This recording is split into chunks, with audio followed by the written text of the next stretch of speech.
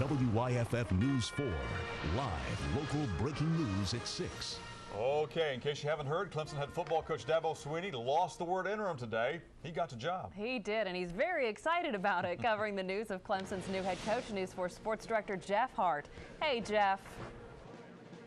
Hi, guys. Well, this uh, press conference here just wrapped up moments ago, and right before it ended, Athletic Director Terry Don Phillips said that Dabo Swinney will be one of the great coaches in America.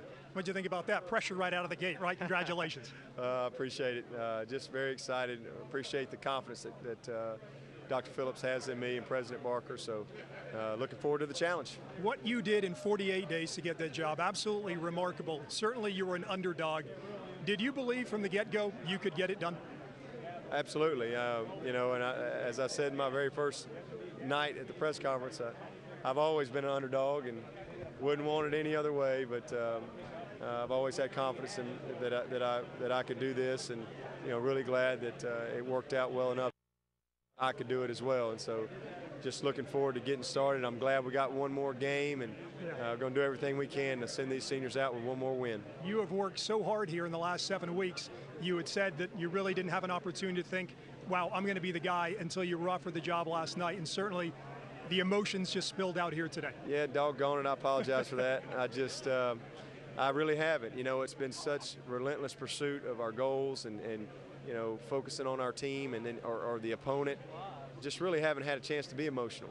Uh, but you know, today it really kind of caught up with me, and um, uh, but we got through it. You told uh, people here today and people who were listening to the press conference, believe in your dreams because dreams come true. No, no doubt. You know, I, I wanted people to know, listen, dream big and uh, and then go make it happen and believe in yourself and don't ever quit because because they do come true and one came true for me today. Yeah, and we're showing the shot of you putting on the orange jacket. Was that surreal or was like I belong in this jacket? Well, I was a little worried if it was going to fit because I didn't try it on beforehand, and uh, uh, but it, it was it was very surreal and just amazing what God can do if you just put your eyes upon Him, and and that kind of capped it off. Uh, uh, felt good. Felt really good. Yeah, I guess when the jacket fits, it was meant to be. Congratulations, Dabo Swinney. so much. Fantastic. And uh, the 25th head football coach at Clemson University as Coach Swinney steps aside. We'll have a player for you live coming up in sports a little bit later on. Of course, the players have been saying time and time again they think that Dabo Swinney is the guy, and sure enough,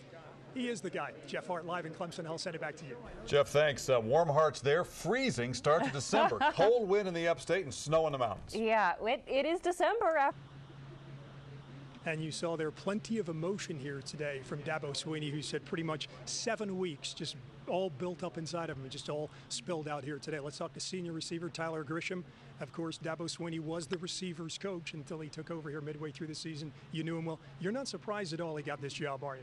I'm not. Um, I've known him for quite a long time since I was young. I grew up going to uh, summer camps with him and you know, knew him from a young age, and I really was not surprised when he was named the head coach. I'm, i could have betted for him being the head coach weeks ago when people were questioning it, but just because I know what he brings to the table, I know that Clemson's going to get a great person um, on and off the field, um, an amazing coach, one of the best in the nation for sure, and, and you know, it may sound cheesy, but it's it's it's I'm certain of that for sure. Yeah, you wanted to walk down the hall and tell Terry Don Phillips stop traveling around the country and interviewing everybody. Exactly. I mean, I, I don't know why he would do that, and I'm just kidding. But you know, you he made a great decision, and I'm just excited that people will be able to see um, what I've been able to witness and, and learn from um, for four years at Clemson. Uh, people are going to get a coach that you know knows how to love and care for his players um, on and off the field, and they're also going to get a coach that demands discipline, um,